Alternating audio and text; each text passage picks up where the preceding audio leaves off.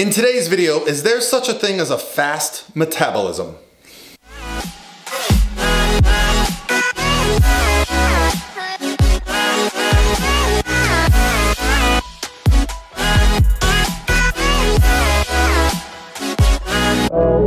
myself. Hey guys, what's going on? This is Paul Revelia from ProPhysique.com. In today's video, we're gonna talk about the idea of metabolic rate. What is a metabolism? Is there such a thing as a fast or slow metabolism? And the question came from my Instagram direct message on the screen here is my Instagram. So if you'd like to send me a question, you can DM it to me and I'll put it on the screen here. So we can talk about the, the question that I got today, which intrigued me quite a bit because as someone who's you know, been around this sport and been around people who, for the better part of their lives, have been trying to manipulate their body composition, we often get in these discussions of metabolisms. That's one of those trigger words that people hear. They use, I have a bad metabolism, or this friend of mine has a great metabolism. The word just gets thrown around a lot, and I don't think there's a lot of clarity. And for some people, like my friend here that asked the question, is there such a thing as a fast metabolism? Or are these people just kind of underreporting what they actually eat and they're eating less calories than they say they are? So I want to discuss a little bit about that. But first, let's explain exactly what your metabolism is. So your metabolism is basically all the chemical processes that are going in your body to break down your food to create energy, okay? Those processes are so dynamic. So before we get caught up in this fast, slow metabolism, understanding just what goes into this metabolism thing is super important. You know, as you break down food in your body and it's going through your stomach and your digestive system, many things are playing a role in that, including hormones, including stress, including lean body mass, and the biggest by far is going to be genetics. Okay, so when we hear people that have fast metabolisms, yes, it's absolutely a real thing. And for those of us that have what I would say is a fast metabolism, well, it can seem like a blessing but I can tell you when I was growing up, it did not seem like a blessing that I had a fast metabolism. Why? Because I wanted to gain weight. And for those that come from the one side of the coin where they want to gain weight and put on muscle, I had to work extremely hard to eat and I, I honestly was terrible about it, okay? You know, I was in college playing baseball on my feet running around all day and I didn't understand energy balance at that time. I didn't understand metabolism at that time. I just understood that no matter what I did, I couldn't gain weight. Well, what I didn't really ever do was track my damn calories. I never really understood that. I just ate as much as I could all day long. But looking back, I could have done a lot better job of actually tracking what I was eating because I probably could have done a better job throughout my day of eating more and eating more appropriate for my goals. And so people that have a slow metabolism, okay, what this means is that they don't have to eat a lot of calories to put on weight meaning that their bodies are just much more efficient at extracting calories from food. For someone like myself, I look at that and go, wow, that's interesting. They get to eat less and they can put on more lean body mass, okay?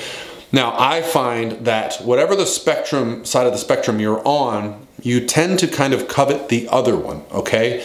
Now that I'm a little bit older, I'm 43 years old, I've been lifting weights for 25 years, I appreciate the fact that I can eat pretty well and stay pretty lean. Now, I can eat less now at 43 than I could at 23. At 23, I would estimate my maintenance calories probably would have been, you know, 4,000 a day, maybe more, um, depending on my sports. Um, so when you think of someone with a fast metabolism, it's usually someone that you say, oh, they eat whatever they want and they never gain weight. Um, and that's certainly going to be a genetic predisposition to that. However, if you go through several periods of calorie restriction, what I've seen in my experience as a coach is that you can adapt your metabolic rate to that. Meaning, if you spend years and years and years overeating and eating lots of food, you're likely going to have a higher metabolic rate than someone who spends years and years and years restricting, okay? Why? Well, because our metabolisms are adaptive. And that's one of the biggest things that I see as a coach is that we are really trying to put people in the best position possible. I've gotten very lucky and dealt with some clients that probably had very good metabolisms but never knew it, and we were able to add calories and get them leaner. I've also run into the same problem where I have people that are pretty lean, but when I start taking away their calories, they really don't start losing weight for a while. That's because their metabolic rates adapt. Their metabolisms are adaptive. We are adaptive to our environment. If you think of it in terms of kind of survival during periods of having less food, if our metabolisms didn't slow down and adapt, meaning our bodies got more efficient at extracting calories from the food and more efficient at not using that energy, well, we would be more likely to starve quicker. Well, we live in an era where we are very fortunate when it comes to food. Calories are available by the handfuls. It's probably one of the real reasons that we have this obesity epidemic is just the availability of food and also the fact that we are much more sedentary as a culture. I diverse. That's a deep, deep discussion on why obesity is a thing. But if you if you just look at the history of people, I don't think it can be argued that right now in human history is the most abundance of food and calories that we've ever had. I can literally hit a button on my phone and have food here in a short period of time. Um, I'm, you know, and I'm sure most of us are that way. And I don't think that was always the case. Food was not always available in such abundance. I mean, hell, refrigeration's only been around for what, a couple hundred years. Um, before that, they used to have to salt meats to keep them from spoiling. So you can understand where I'm going here. So if you're looking at someone who has a very good metabolism, they probably come from a background of people that were able to eat a lot. Um, you know, we can also get into somatypes. You know, there tends to be, I won't say it's with a certainty, but there tends to be a kind of correlation between I would say people who are ectomorphic, tall, lean like myself. I'm six foot three and I graduated high school at 155, 160 pounds. Um, I was playing basketball, volleyball, and baseball every single day. Maybe I had a predisposition to being, you know, having a faster metabolism. Maybe someone who's more sedentary and comes from that kind of a background has a predisposition for being having a slower metabolic rate. But I think wherever you come from, understanding that concept is important because no matter what, it still comes down to taking in calories and understanding where your kind of maintenance is that's going to determine if you are losing weight or gaining weight. Everyone talks about calories in and calories out, how that's the magic thing. Well, the real problem with that is we don't actually have a calculation in our bodies for what our calories in and calories out are. Okay, that's an estimation, and most people are going online and trusting a calculator, or they're doing some cardio and trusting the machine. That's not correct. Those are not exact numbers. So when people say, oh, but I burned a thousand calories today and I only ate 500, why am I not losing weight?